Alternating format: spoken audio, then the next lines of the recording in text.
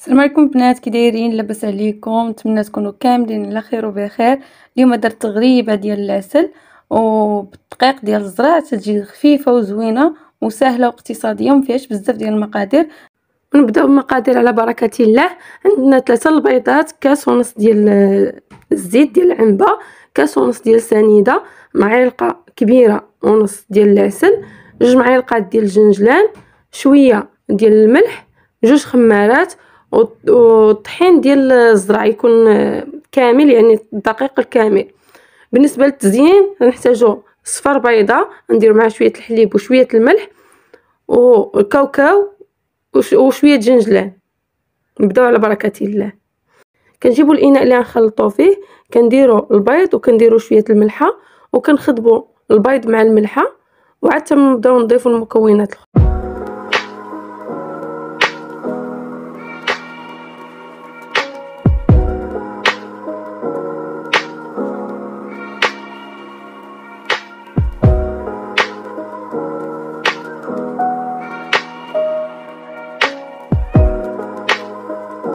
من بعد ما خدمنا البيض مع الملح مزيان دابا غادي نضيفو الزيت.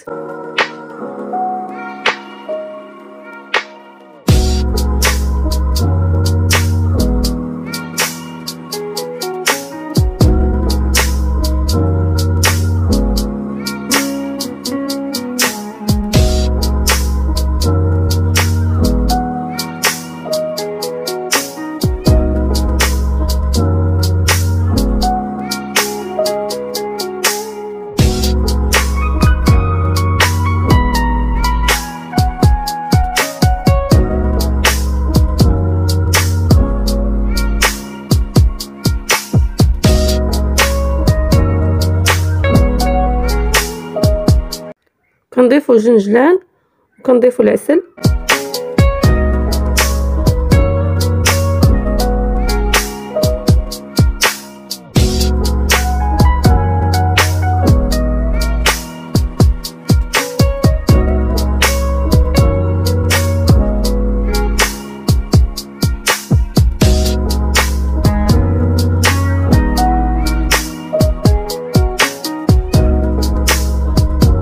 غادي نبقاو نضيفو الطحين تدريجيا حيت الطحين ديال الزرع تيبقى يشرب.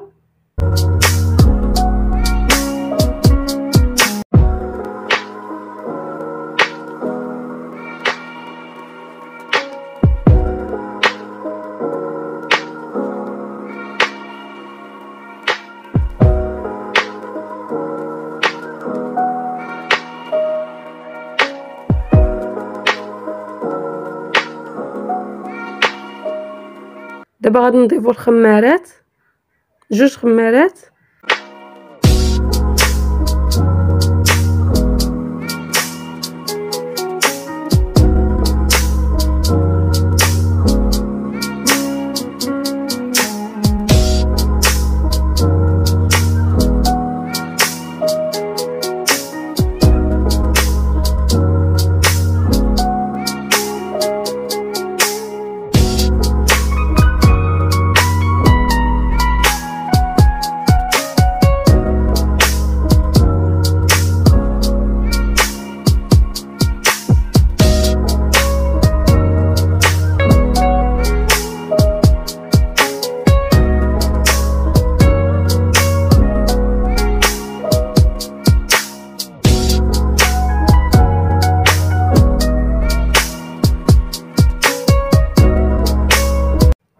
هاي العجينة ديالنا من بعد ما تجمعت تجي على هذا الشكل ما تجيش مرخوفة وما تجيش قاصحة كتجي بين وبين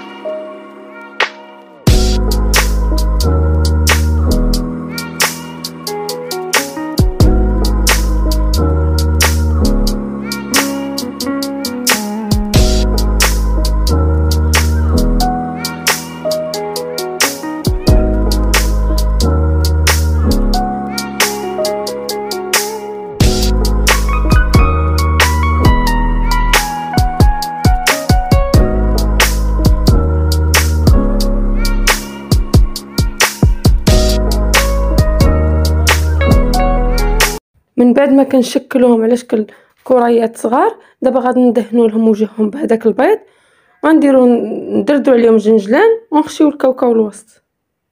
بالنسبة للكاوكاو اختياري يعني اللي كي اللي كيبغيه يديرو اللي ما بغاش يقدر يستغنى عليه.